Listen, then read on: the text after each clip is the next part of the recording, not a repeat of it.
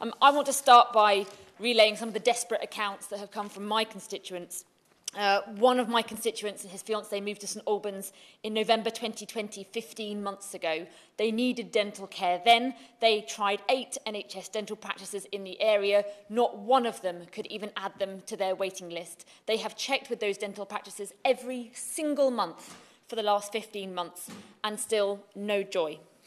Um, his fiance has now registered with some student dentists at a hospital in London. She's desperate to get some treatment. The good news is she's on the waiting list. The bad news is it is still a very long waiting list.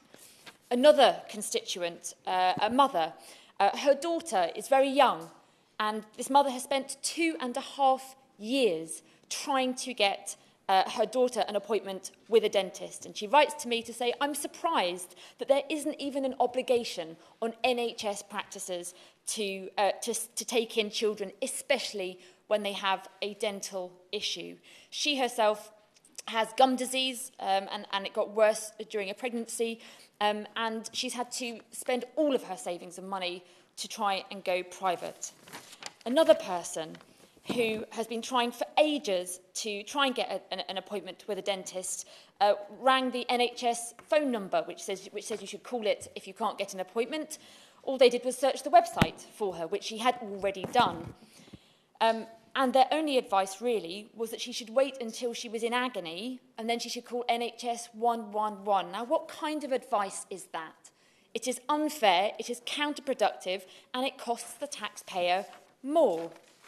So the local uh, uh, dentistry uh, committee in Hertfordshire wrote to me. Um, they had written to NHS England along with the dental committees of uh, Bedfordshire and, and Milton Keynes, and they are begging for the payment system to be reformed. It is absurd that if a dentist carries out more work for their communities than the outdated cap allows, then they simply can't be paid. I mean, this is an absolutely absurd system. They are unable to provide care for the patients, to provide the care that their patients need. Now, this system of the um, unit of dental activity skews the dental system, so it is now more attractive for practices to deal with less complex patients, and in many cases, they are paid the same flat rate for these treatments as they would be for helping those who have higher needs. Um, the Local Dentistry um, uh, Committee Confederation has also set out its plans to the government and to many of us as MPs to say that this system has to be reformed, it has to change. Um, and I sincerely hope that the Minister will give us a better answer today than the answer I was given to my written parliamentary question earlier today, which simply just confirmed that it was being reviewed along with lots of other options.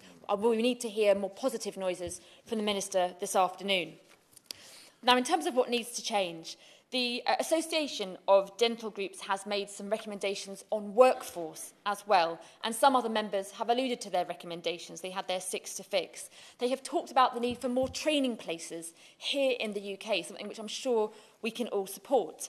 They have also called, something which I know some members have not referenced, for the recognition of EU uh, national dentists to have their recognition extended beyond the end of this year when it runs out.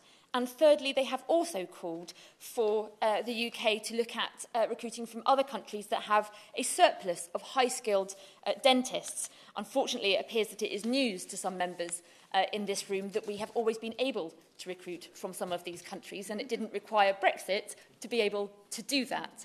Nonetheless, I would like to put three questions to the Minister. When will my constituents be able to see a dentist? question number one. Question number two. When will this absurd payment system be scrapped and reformed? And question three. When will there be a workforce strategy so that dental deserts, which we've heard so much about, become a thing of the past. And this Dickensian system of years-long waiting is finally put to an end. Yeah, yeah.